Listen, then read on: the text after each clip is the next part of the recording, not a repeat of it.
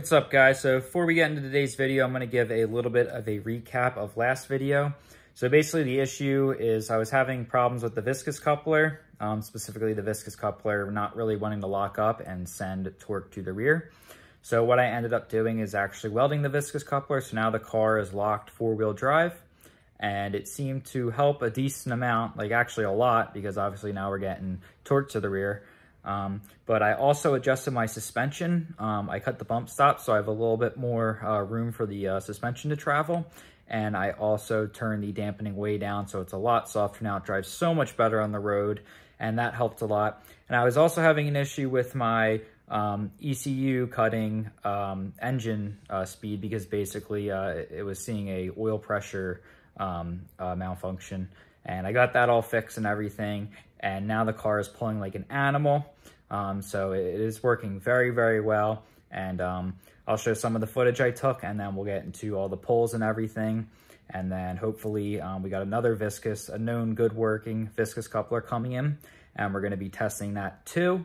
But that might not be for a while because there's some stuff we gotta fix up on the car before we uh, start doing any more road driving on it. Uh, so let's get into it.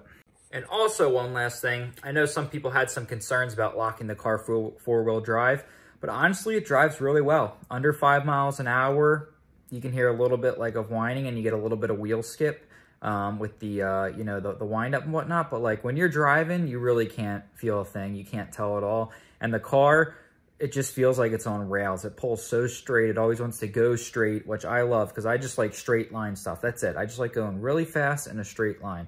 I don't like going really fast or putting a lot of power down around corners.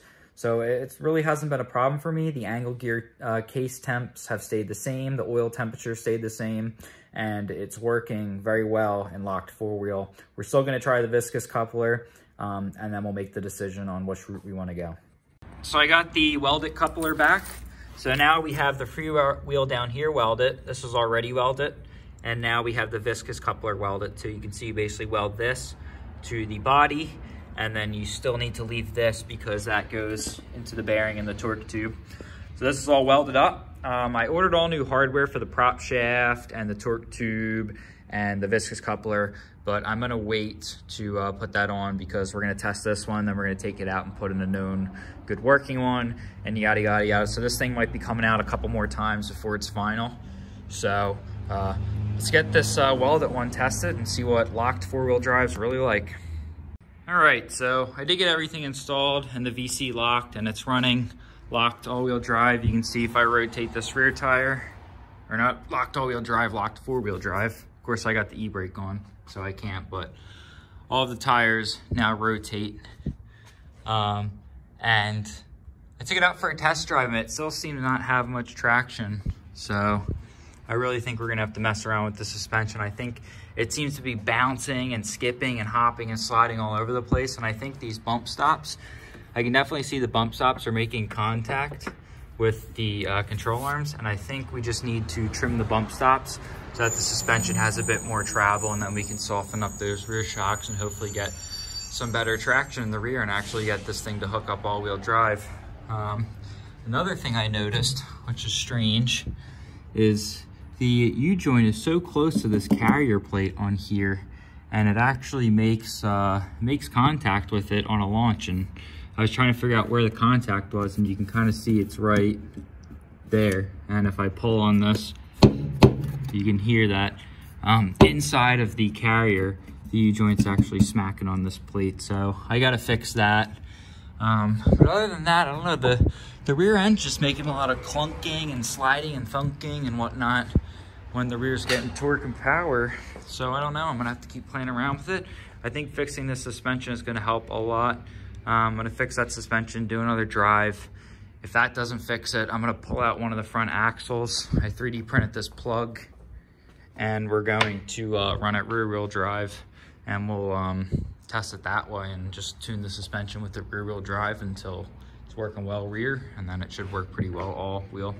So, or all wheel or full four wheel. So let's keep playing around with it.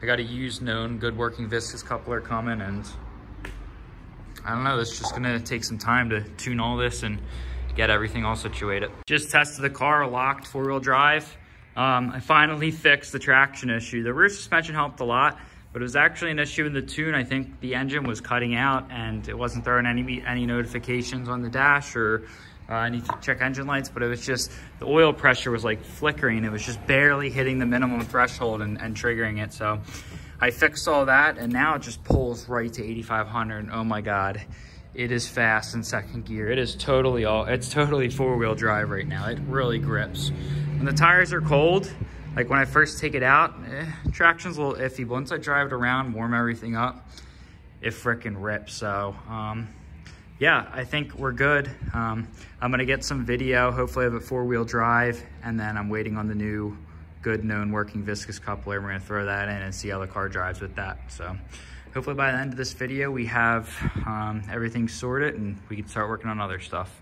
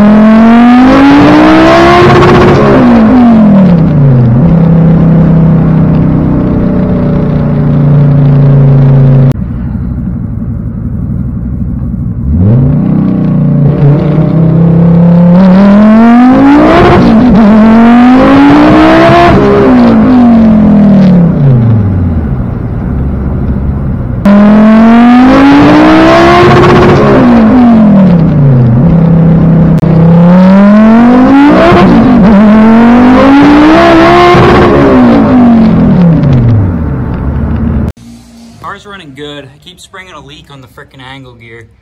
You can see I, I kind of actually lost a decent amount of fluid. I mean, not a whole lot, but it's this freaking oil pump. It keeps like getting smashed against the subframe, I guess, and just busting everything up. So we're gonna have to fix that soon, but I'm gonna get all this cleaned up and probably pull this off and see how much fluid's actually in there. There still should be a, a decent amount, but we gotta start actively working on getting some of these uh, leaks a little bit more under control. I've been doing so much of just doing poles and all that stuff, but now that we know the all-wheel drive is working, we can work on this a little bit more. Got the fluid drained. There was only about three quarters of what I originally put in there because we had this pump come off twice. But I mean, there's no like metal in it. It's starting to get a little bit dark. It was like a real bright red. Now it's more of like a cranberry. But um, yeah, I don't, there's no like massive particles of metal, so everything should be set up fine in the angle gear. I'm gonna try and grab my, um, I have like a endoscope and I'm gonna see if I can put it up there to kind of get a look at the teeth. So if you look a little closer, you can see that the pump actually broke. that fitting broke, womp womp. So I think the issue was solid mounting it. I know a couple other people expressed their concerns that, hey, solid mounting it's probably not a good idea.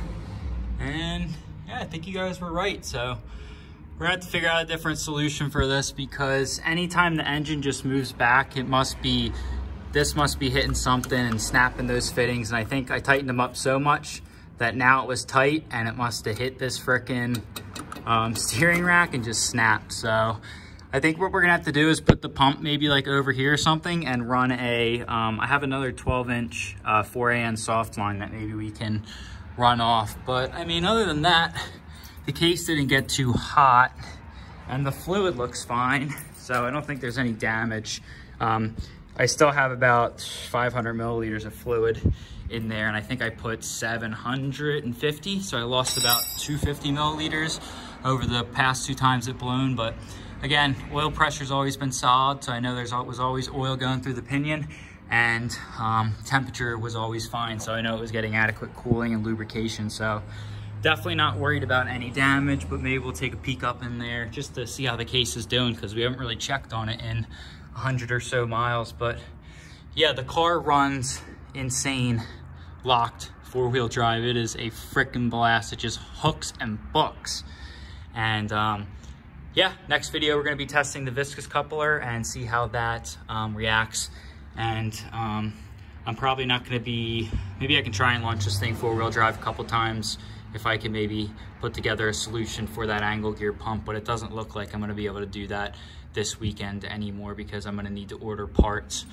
But super happy. We gotta fix the PCV up front because I'm still kind of getting some, um, you can see there's a little bit of leakage coming from the box because it doesn't have a perfect seal because of how I JB welded a fitting on it. But yeah, things are running well. Four-wheel drive test was successful. This thing definitely is hooking up on all four.